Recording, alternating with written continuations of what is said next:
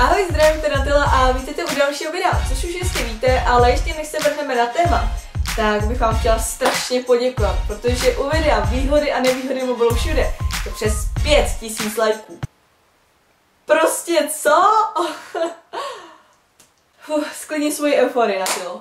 Před nějakou delší dobou, jo, to už nějaká doba fakt bude, jsem točila video nelogické věci, které děláme a nějak postupem času jsem se začala uvědomovat, vědomila, že toho děláme nelogického nebo zároveň i divného sakra mnohem víc.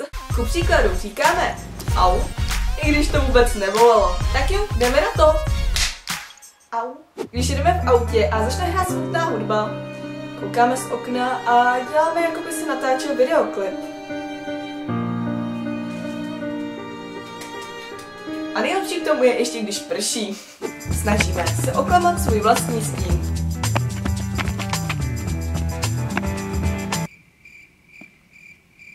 Nechceme tam, ale potom nechceme z toho.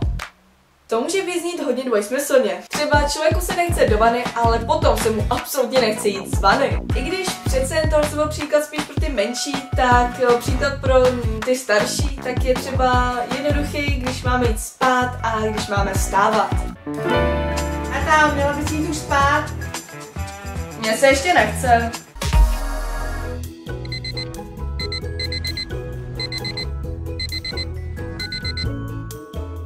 Já ještě nechci vstávat. Jo, tahle situace se mě týká víc, než by měla. Máme před sebou notebook, ale Facebook projíždíme na mobilu. Proč to taky tak dělám? Zavíráme dveře od pokoje, když jsme doma sami.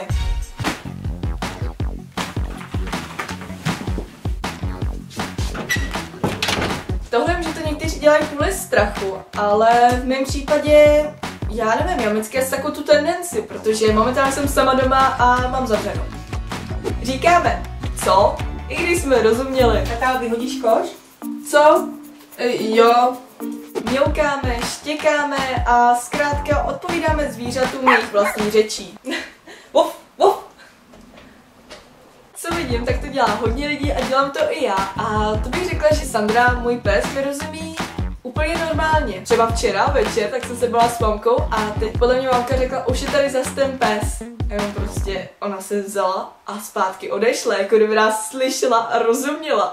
Přemýšlíme nad totálními kravinami. Kolik asi tak může mít na hlavě vlasů? Proč nemají paličky křídla? Co bych asi tak dělala, kdyby teď ten pavouk nade mnou měl najednou 40 nohou? Jelikož je to hodně dlouhá věta a já bych to tady točila asi 100, 150 tisíc minut, než bych to řekla na jeden pokus, tak to radši přečtu. Vezmeme mobil, abychom se podívali na čas a protože to nezaregistrujeme nebo neuvědomíme, uděláme to znova, protože jsme zapomněli, kolik vlastně je. Kolikže? Momentálně teď, co to točím, tak mě napadlo další a to je třeba to, že když jsme venku na těch kostkovaných dlažbách, jako se tak říká, tak nešlapeme na mezery mezi nimi. My těch nelogických věcí děláme sakra hodně. Tenhle ten příklad je hlavně pro hráče a to, když hrajeme nějakou hru, tak máme nějakou tendenci mačkat silněji na tlačítka, na myš, na klávesnici, aby nám, já nevím, rychlejš běželi, rychlejš jeli. Nebo taky používáme ovladač ke konzoli jako nějaký ovladač Wii U. A úplně poslední, která mě napadla, byla to, že si dáme budík dříve, třeba na šestou, abychom mohli déle ležet. Tak jo. Tohle jste pro dnešní video všechno. Já doufám, že jste se v nějakých scénkách viděli, po případě mi můžete napsat dolů do komentářů kam. Kam? A pokud se vám staly někdy nějaký jiný ještě, který jsem tady nesmínila, tak mi to určitě taky můžete napsat. Pokud se vám tohle video líbilo, moc mi podpoříte lajkem a úplně nejvíc, nejvíc, nejvíc mega mě podpoříte sdílením a šířením mezi přátelé a podobně. Všechny sociální sítě, na kterých mě najdete, jsou tady.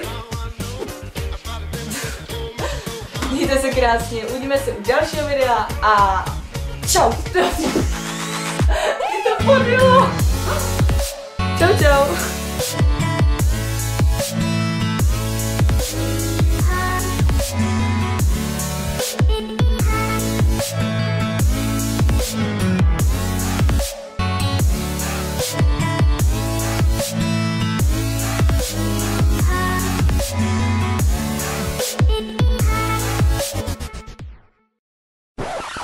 Sandra Sandra, co tam sedíš jak na hambě, prosím tě.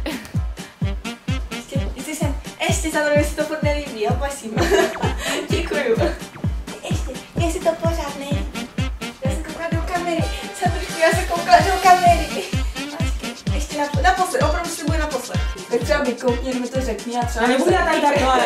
Tak vykoukni, asi hodinu budu česat vlastně. Nebo ti budou stát za chvíli.